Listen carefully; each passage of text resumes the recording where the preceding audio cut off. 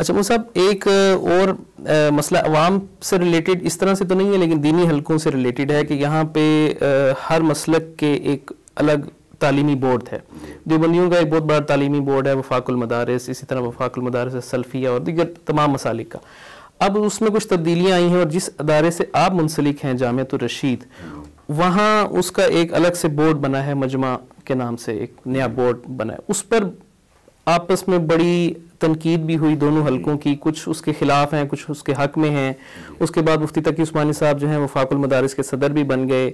आप उनका बड़ा एहतराम भी करते हैं आपकी गुफ्तु में उनका बारहा ज़िक्र भी आता है। तो बाज़ लोग इसको ताबीर इस तरह से करते हैं कि शायद देवबंदियत जो है वो दो टुकड़ों में बट गई है। एक वफाकुल मदारस है और एक दूसरी तरफ़ चला गया। आपका इस बारे में क्या कि उसकी ज़रूरत थी या नहीं थी? और अगर अब वो बन गया है तो अब उसमें दरमियानी राह क्या है? देखिए पहली बात तो ये जो देवबंदियत का लफ्ज़ गैर ज़रूरी इस्तेमाल है ना इसका देवबंदियत का मतलब क्या है? देवबंदियत ये लोगों ने नाम दिया है। जब बर ये जो जब इस्लाम बर सग़ीर में आया ना तो कुछ लोग थे कि जो उसी इस्लाम को हमेशा से फॉलो करते आ रहे हैं। कुछ लोग ऐसे थे जो उस तरीके से हमारी राय के मुताबिक हट गए। तो थे दोनों मुसलमान। तो जिनका इंडिया का जो एक देवबंद एक ज़िला है जिनका वहाँ से ताल्लुक़ था लोगों ने उनको देवबंदी कहना शुरू कर दिया। और जिनका बरेली से ताल्लुक़ था उनको बरेलवी कहना शुरू कर दिया। तो ये नाम लोगों ने दिए हैं। ये उलमा देवबंद ने नहीं बनाए कि एक फ़िरका बना दिया हो। वो मोहतरम ने लगाया ना कि वो अनार का दरख्त की जिस अठारह सौ सत्तावन में बुनियाद रखी तो उस वक्त से पहले देवबंदी थे ही नहीं। सबसे पहले ये नाम नहीं था। वरना सारे जिस फ़िका को फॉलो करे तो फ़िका हनफी था जो बरेलवी हजरात का भी है देवबंदी हजरात का भी है। तो ज़ाहिर राय का जब इख्तलाफ हुआ तो जैसे तीजा है, चालीसवां है, जो लोग ये चीज़ को सही समझते हैं ग्यारहवीं शरीफ और ये इस तरह की चीज़ों को तो लोगों ने फ़र्क करने के लिए क्योंकि हैं तो दोनों मुसलमान तो अब लोगों ने फ़र्क करने के लिए बजाय इसके कि सच्चा मुसलमान और झूठा मुसलमान या वो, यानी हर आदमी अपने, मैं अपने आप को सच्चा कहूँगा, ठीक है ना? तो ये ये तो एक अजीब सी बात हो गई ना। तो सच्चा कौन है, झूठा कौन है, इस बहस में पड़े बगैर लोग खुद नाम दे देते हैं पहचान के तौर पर कि ये जो ये वाली चीज़ें नहीं करते वो उनको देवबंदी कहना शुरू कर दिया जो करते हैं उनको बरेलवी कहना शुरू कर दिया। तो ये कोई ऐसा नहीं था कि बाकायदा फ़िरक़ों की बुनियाद रखी है। तो मैं सॉरी मैं ये बात आपकी काट रहा हूँ। तो ये जो कह रहे हैं ना कि सारे देवबंदी एक जगह जमा थे ये ताबीर गलत है। यूँ कहना चाहिए सारे एक का एक तालीमी निसाब था वो सारे एक जगह जमा थे तो जाम रशीद ने एक अलग तालीमी निसाब क्यों बनाया? मैं इख्तलाफ आपसे ये कह रहा था कि आपकी ये ताबीर तो दुरुस्त है लेकिन जब लोगों ने देवबंदी कहना शुरू किया तो हमारे जो बड़े हजरात थे उन्होंने उसकी तरदीद भी नहीं की। अभी भी देवबंदी मस्जिदों में देवबंदी लिखा होता है ऐसा नहीं है कि नहीं लिखा होता। ऐसा नहीं है कि सिर्फ़ आवाम उनको देवबंदी कहती है वो खुद एक्सेप्ट करते हैं तो वो अपनी मस्जिदों में लिखते बस देखें जब एक कोई चीज़ किसी की पहचान बन जाती है ना किसी से फ़र्क करने के लिए। जैसे एक साहब मुझे कहने लगे हम हनफी नहीं हैं हम मोहम्मदी हैं। हम्म। और हमारी या सॉरी जमातुलमसलिमिन वाले जो ख़ास तौर पे कहते हैं ना हमारा नाम अल्लाह ने जमातुलमसलिमिन रखा है। तो मैं कहता हूँ वो जमातुलमसलिमिन काफिरों से फ़र्क करने के लिए रखा है। ठीक है। ना? तो मुसल मुस्लिम हैं हम सब। हम्म। तो गैर मुस्लिम के मुकाबले में मुस्लिम है।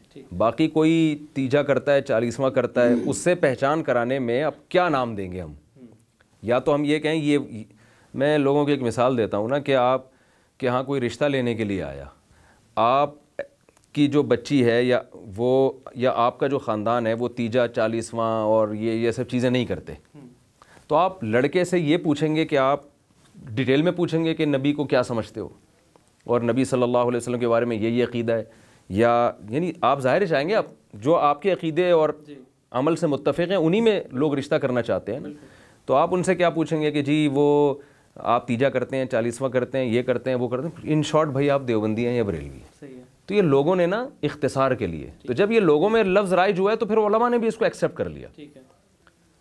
तो ओलमा ने भी इन शॉर्ट भाई ये ये अकायद हैं। तो ये कोई नई चीज़ नहीं है। लेकिन मस्जिदों में जो देवबंदी अल हदीस और बरेलवी लिखा जाता है मैं बहुत सख्त इसके ख़िलाफ़ हूँ। बल्कि मैं नामों के साथ लिखने के भी ख़िलाफ़ हूँ। मैं लोगों से बार बार कहता हूँ कि मेरे नाम के साथ डी भी लिखा जाता था। वो था दामद बरकत हूँ मैंने वो हटवाया कि लोग इसको देवबंदी ना समझें। अच्छा। तो ये जहाँ बहुत शदीद ज़रूरत होगी वहाँ इन शॉर्ट डिफ़ाइन करने के लिए तो ठीक है। रिश्तों में ज़रूरत पड़ सकती है और तो मेरा ख्याल है मस्जिद में इमाम के तयन के लिए ज़रूरत पड़ती है। कमेटी वाले बैठते हैं वही आप आए हैं सिलेक्शन के लिए हमारी मस्जिद में नई मस्जिद बनाई है हमने तो आप वहाँ इमाम लगना चाहते हैं तो आप ये तीजे चालीस में अजान से पहले सलात सलाम पढ़ेंगे नहीं पढ़ेंगे तो इसके बजाय लोग कहते हैं आप देवबंदी हैं बरिशवी इन शॉर्ट ठीक है। ना? तो ये इन शॉर्ट तो जहाँ बहुत शदीद ज़रूरत हो इख्तसार से काम लेने की वहाँ तो ठीक है वरना बिला वजह अपने नाम के साथ देवबंदी या मस्जिदों में लगाना ये बिल्कुल गलत है। लेकिन एक इमाम साहब ने मस्जिद में लगाया हुआ था देवबंदी तो मैंने उनसे पूछा आपने क्यों लगाया है? तो उन्होंने कहा कि ये गवर्नमेंट की रिक्वायरमेंट है। अच्छा। क्योंकि पहले मस्जिदों में फड्डे बहुत हो रहे थे ये उनकी मस्जिद छीन रहे हैं ये वाले मसलक वाले उनकी मस्जिद तो फिर गवर्नमेंट का एक लॉ है कि वो आप एक ख़ास मसलक के नाम से रजिस्टर्ड होगी ताकि फिर वो उन्हीं के नाम हो इसमें दूसरा कोई कब्ज़ा ना कर सके। लेकिन मैं ये कहता हूँ ये डॉक्यूमेंट डॉक्यूमेंट की हद तक रखो ना इसको।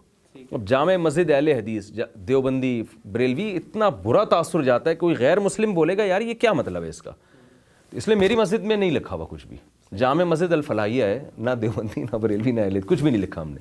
सऊदी अरब में जाएँगे कुछ भी नहीं लिखा हुआ। तो मस्जिदों में ये नहीं होना चाहिए। तो मैं और ये हमारे हजरात भी हज़रत मुफ्ती रफ़ी उस्मानी साहब ने अपने नाम के साथ देवबंदी लिख दिया था तो हज़रत मुफ्ती मोहम्मद शफ़ी साहब ने उनको बहुत सख्त तंबी की हटवाया ये लफ्ज़। महमूद हसन देवबंदी जो नाम लिखा होता है ना उनका मुफ्ती महमूद वो देवबंद के रहने वालों की की वजह से। जैसे नवाज़ देवबंदी मशहूर शायर है तो वो देवबंद का रहने वाला है।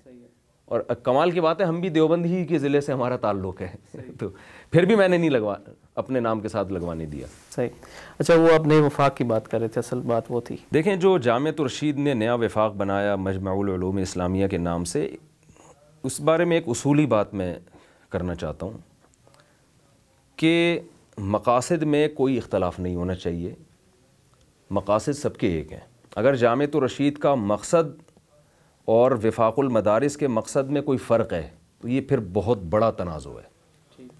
दोनों के मकासद अगर बिल्कुल अलग अलग हैं हदफ दोनों का मिसाल के तौर पर उनका हदफ है इस्लाम को प्रोमोट करना जामिया वालों का हदफ है इस्लाम को नीचे करना। तो जब हदफ दोनों का एक ही है तो ज़राए में हज़रत मौलाना अबुल हसन अली नदवी रहमत फरमाया करते थे कि मकासद पे कोई कॉम्प्रोमाइज़ नहीं करो ज़राए में जितनी लचक पैदा कर सकते हो करो। तो अगर जाम तो रशीद के अहदाफ कुछ और है। उन अहदाफ के ज़रिए वो कहते हैं कि हम उस मकसद तक पहुँचेंगे जहाँ वफाकुल मदारस पहुँचना चाह रहे हैं। तो वो तरीक़ार अगर अलग इख्तियार करते हैं तो मेरा ख्याल है इसमें हमें इसकी मिसाल ऐसे जैसे हज़रत मौलाना इलियास रहमत वो भी किसी मदरसे से फ़ारग थे। लेकिन उन्होंने मदरसों के ट्रैक से हक, हट के एक अलग, एक अवामी सिलसिला शुरू किया। उनका ख्याल ये था, भाई, ये मदरसे रहना भी ज़रूरी हैं, लेकिन ये काफ़ी नहीं है। इनके अलावा ये तरीक़ा होना चाहिए। तो वो भी उसी मदरसे ही की बरकत थी कि उन्होंने इलियास मौलाना इलियास रहमत जैसा एक बंदा पैदा किया जिन्होंने इस जिहत पे काम किया और उसकी बरकतें आप देखें। तो जाम तो रशीद अगर एक अलग विफाक के ज़रिए क्योंकि एक तालीमी निसाब अलग जाम तो रशीद ला रहा है और उनका बड़ा मकसद है कि भाई हम ब्यूरोसी में लोग पैदा करें और अदालतों में लोग पैदा करें और सिर्फ़ ये दावे नहीं हैं जाम तो रशीद का आप माजी उठा के देखें दो ढाई सौ कमीशन ऑफिसर जाम तो रशीद ने फ़ौज को दिए हैं। तो ये कितनी एक बड़ा इकदाम है। तो वो तो वफाक के साथ रहते हुए भी दिए वफाक के साथ रहते हुए दिए लेकिन वो तालीमी जामिया से ज़्यादा दे सकता था ना। अच्छा। यानी आप हज़रत मुफ्ती अब्दुलरहीम साहब के साथ बैठे बिल्कुल न्यूट्रल होके। ठीक है। बिल्कुल जहन को रख के ना बिल्कुल एक न्यूट्रल होके। तो वो मैं समझता हूँ दो और दो चार की तरह आपको वाजे कर देंगे कि इस नए विफाक की हमें क्या ज़रूरत थी और जिन तरीक़ों से हम दीन की खिदमत करना चाहते हैं उसमें हमें हमारे लिए ये ज़रूरी था। लेकिन अगर आप बिल्कुल न्यूट्रल हो के ये इल्ज़ाम ना लगाए जाएँ कि ये हुकूमत के लोग हैं आईएसआई ने इनसे ये करवाया है। जब ये चीज़ें लगती है तो फिर बात ख़राब होती है। दूसरी बात यह कि जाम तो रशीद का ये कतान दावा नहीं है कि वफाकुल मदारस गलत ट्रैक पर चल रहा है। इसकी मिसाल है जैसे तबली जमात का ये दावा हरगिज़ नहीं है कि मदरसे गलत हैं। जो वफाकुल मदारस की खदमात हैं वो बहुत बड़ी हैं और उनकी अपनी ज़रूरत है। इसकी मिसाल है कि जैसे कोई कोई आपको बड़े हजरात कहते हैं आपने यहाँ पहुँचना है ये आपका हदफ है उसमें कुछ कोई जहाज़ से आएँगे कोई ट्रेन से आएँगे कोई बस से आएँगे तो वो सब ज़राए हैं। कोई पी से आएगा जो बहुत ही बहादुर होगा ठीक है ना? वो पी से आएगा कोई एयर ब्लू से आएगा तो ये सब ज़राए हैं। तो मैं समझता हूँ कि इसमें जितनी लचक हो जितना ज़र्फ़ वसी किया जाए कम है। जाम तो रशीद का एक मोटिव है एक हदफ है वो समझते हैं कि ये वो हम इसके बग़ैर पूरा नहीं हो सकता। तो आप हज़रत मुफ्ती दुरहीम साहब के पास साथ बैठें तो वो दो दो चार की तरह लेकिन आराम से समझने के लिए। और वफाकुल मदारस की अहमियत ज़रूरत ये अपनी जगह मुसलम है। मैं ख़ुद इसी निसाब को पढ़ के फ़ारग हुआ जो वफाकुल मदारस का है। हज़रत मुफ्ती अब्दुलरहीम साहब भी उसी निसाब को पढ़ के फ़ारग हुए हैं। जितने जामिया के हजरात हैं तो ये निस, ये मदरसा ना होता तो मैं टू, जो टूटी फूटी खिदमत कर रहा हूँ वो ना करता मैं। तो वो अपनी जगह है और इन इस विफाक से इस जो विफाकुल मदारस को फ़ायदा होगा इन मुफ्ती उदरीम साहब तो ये दावा करते हैं कि इन आप देखेंगे कि हम विफाकुल मदारस के मुआविन और मददगार बनेंगे। और वो विफाकुल मदारस कुछ साल ठहर जाएँ, वो वो देखेंगे कि ये, इसका हमें फ़ायदा हुआ इन तो जैसे तबलीगी जमात बनने से मदरसों को नुकसान नहीं हुआ है, फ़ायदा हुआ है मदरसों को तो इन होगा। तो बाकी यही है कि जो, यानी जो मैं एक उसूली बात करता हूँ कि भाई मकासद सबके एक हैं तो उनके लिए अगर कोई दूसरा तरीका इख्तियार करते हैं तो उसमें कोई हरज नहीं है।